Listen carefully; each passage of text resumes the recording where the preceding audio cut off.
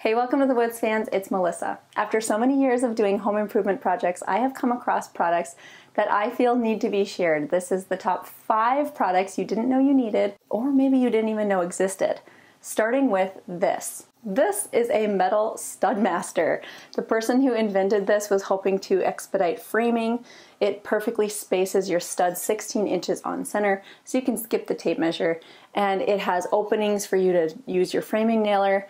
Um, it keeps everything totally perpendicular, like at a 90 degree angle. It's super, super nice. I'm really surprised how often I've reached for this. I got it when I was framing up a wall, but I've also used it for like a deck joist framing. And every time I show this in a video, I get at least one comment, what is that tool? What is that? Well, it's pretty awesome. It's made entirely of steel, so it's virtually indestructible, and it's also manufactured in the USA, which I love. If you didn't know this existed, I'm gonna blow your mind. It's a laser tape measure.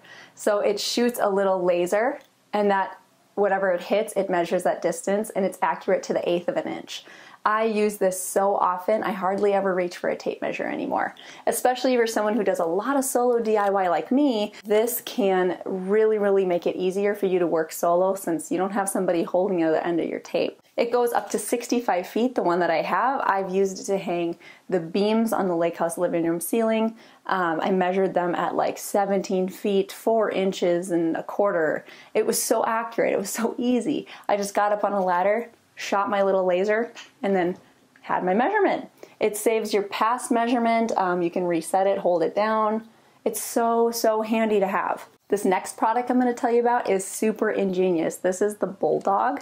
This is like a demonstration of it. It's this here. It attaches to your home's piping at the water shutoff valve and it detects leaks in your home, shutting off the water if there is damage being caused. So if it detects a leak, it just is like this robotic arm that moves on its own. It's actually really easy to install just with a Phillips screwdriver and you just need a quarter turn valve. It's got a super long cord that takes you to your power source, and this actually monitors through your phone. So you can control the water shut off to your house on an app on your phone, also Alexa or whatever you're using for your smart devices. Um, these little guys are what you just set around areas that are likely to leak. So, for instance, I do a lot of my own plumbing, but I'm not a licensed plumber. So, I put these in like any of the sinks that I've plumbed, the drains, or like a kitchen faucet, and these are going to detect a leak and make my home's water shut off to prevent further damage if I did something wrong. The makers of the Bulldog Econet Controls is sponsoring this video and they have so many selling points for this product that they've invented. I feel like the coolest thing is there's no plumbing required. It installs over your existing plumbing to give you peace of mind with very little effort. A lot of insurance companies nowadays actually require something like this installed in your home before they will insure against water leaks and water damage. My friend actually had a leak happening behind her fridge for the inlet water um, to like her ice maker and it was leaking slowly over time. It built up enough water that they realized that there was a problem when the whole ceiling of their basement caved in and their basement flooded. So if she had had one of these little leak detectors behind her fridge, none of that would have happened. To purchase the Bulldog from Econet Controls, there's a link you can click in the description as well as a pinned comment below. Next up is a product I wish I had found years sooner. It's Bondo. If you don't know what Bondo is, it's basically the magical repair putty that you can uh, mix a two part hardener and it will repair almost anything. You can use it on wood, like rotted wood. You can use it on metal, like cracked gutters.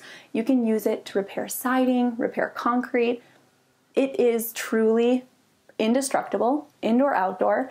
And the way it works is it dries so fast and so hard that you have to work really quickly. Like you don't usually get more than five or 10 minutes to spread it around, but you just spread it with a putty knife. Um, the downside to this is it is definitely cancer causing. Like the fumes are terrible. So I wouldn't like sleep next to it, but I love it and I use it all the time. Before Bondo, there were way too many situations in which I was trying to use like wood filler, caulking, sealant, like all these other things that I didn't know something like this existed. and it's it's really applicable in so many situations. Speaking of things you didn't know existed until you googled it, this is a moisture meter. I bought this last summer when I was working on the treehouse because as I built with green treated lumber, I had so many of my followers say it takes at least a year for green treated to dry out and you can't stain that anytime soon. Well, my intent was to stain it after a few weeks of hot, dry weather, and I thought it would be okay. But there are so many different opinions about green treated lumber, like how long you have to wait, and they're all arbitrary. Who knows if it's a month, six months, a year, seven years, you don't know. And so this is a moisture meter. This actually reads how much moisture is in the lumber. You have to um, put the prongs as deep as you can, and it reads the percentage. You want it to be less than 15% moisture before sealing the wood. Um, I, I wouldn't stain or put anything on the wood until it's less than 15% moisture content. It's also really, really helpful if you are someone who wants to stain or paint after a heavy rain and you're just not sure, like, is it dried out enough? Or if you decide to pressure wash, like a lot of people pressure wash their deck, they let it dry overnight and then they seal it the next day. Well, it's very possible that that lumber is is full of moisture and that's not wise to seal it in. So, definitely get one of these. So, in the comments now, I would love for you to tell me if there's any products you've come across that have changed your home improvement lives.